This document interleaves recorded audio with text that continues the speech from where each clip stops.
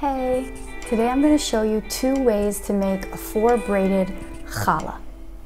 The first way, you can see in the picture, we always start from the left side. We take the left side, we go under and over. And again, we start with the left side. We go under and over, all the way to the right. Left, under and over. When we get to the end, we just tuck it in and we finish the first type. Second way is we take the two middles, we go under and twist the two middles.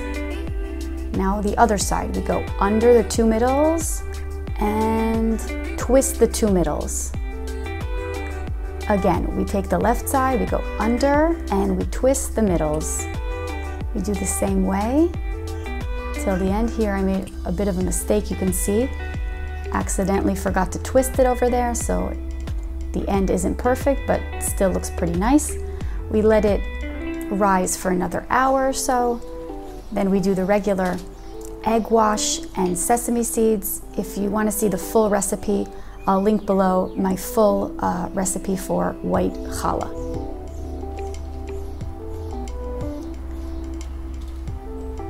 The egg we put all around and we add some sesame.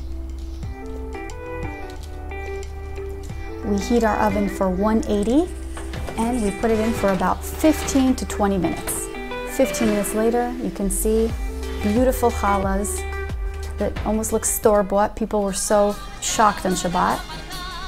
Have a Shabbat Shalom. See you next time.